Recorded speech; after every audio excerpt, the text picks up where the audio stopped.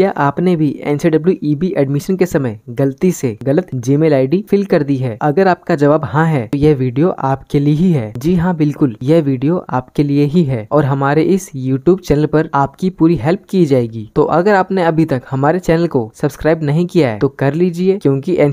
B e और S और government job online form के रिगार्डिंग लेटेस्ट नोटिफिकेशन की अपडेट्स हम आपको देते हैं तो चलते हैं टॉपिक की तरफ तो सबसे पहले बात करते हैं समस्या की फिर उसके बाद बात करेंगे सॉल्यूशन की तो वीडियो को पूरा देखें ताकि आपकी समस्या का समाधान हो सके तो देखिए जब एडमिशन फॉर्म स्टार्ट हुए थे तब बहुत से बच्चों ने गलत ईमेल एड्रेस फिल कर दिया था जैसे कि जीमेल आईडी के अंदर स्पेलिंग मिस्टेक होना जिससे कि अब एनसीडब्ल्यू स्टूडेंट्स e को समस्या का सामना करना पड़ रहा है तो समस्या कुछ इस प्रकार हो रही है कि जब एग्जाम फॉर्म जारी हुए तो एग्जाम फीस भरने से पहले एक छोटा सा रजिस्ट्रेशन करना होता है जिसमें कि आपकी एनसीडब्ल्यू e में रजिस्टर्ड जीमेल आईडी पर एक ओटीपी आता है और और ओ के बिना एग्जाम फॉर्म भरना पॉसिबल नहीं है और तेरह नवम्बर की लास्ट डेट है और स्टूडेंट अपनी फीस नहीं भर पा रहे और मुझे मेरे कुछ सब्सक्राइबर्स के कमेंट आ रखे हैं कि सर हमने गलती से गलत ईमेल आईडी फिल कर दी है और ओटीपी उसी मेल पर जा रहा है तो हम क्या करें तो देखिए ऐसे में आपको परेशान होने की बिल्कुल जरूरत नहीं है आप बिल्कुल पैनिक मत कीजिए यह प्रॉब्लम